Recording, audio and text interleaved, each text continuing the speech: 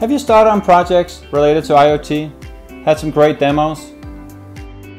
IoT seems easy, and there are examples of tremendous value being created, but your initiative can't seem to get off the ground.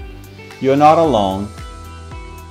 There are four reasons why Internet of Things projects are harder than they look.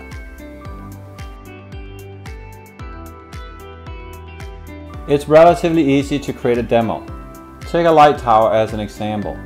It would have great value to have a light tower that would notify you or a gas company if it needed fuel, or be able to turn it on and off remotely. You have the light tower, you deck it out with sensors, connect with a mobile provider, collect the data, establish the algorithms, and voila, you have a demo, likely in less than a week. But now the issues start.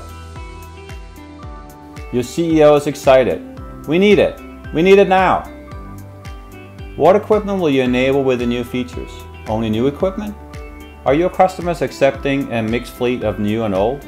If not, will you retrofit his old equipment? Who will marry your IoT kit with the machine and divorce them? Monitor and service.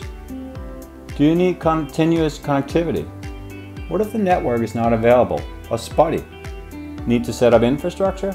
At what cost? To who? What, how do you secure the data? Who owns it? The user? The owner? The distributor? The manufacturer? Who can access the data?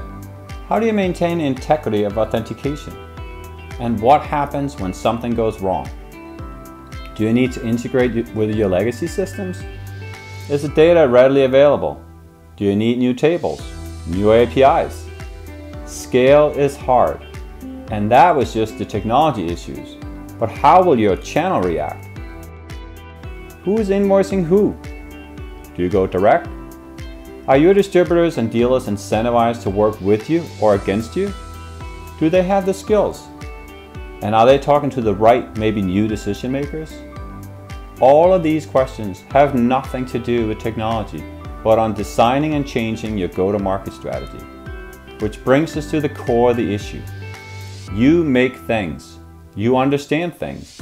But IoT is inherently enabling services, and services are different. Creating a demo is easy. Solving for scale is hard. Redesigning your channel is hard.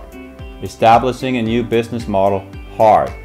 Now do all three at the same time with a small team on a very small budget, that is really hard.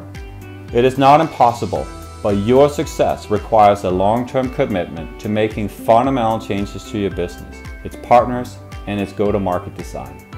IoT is about business and technology.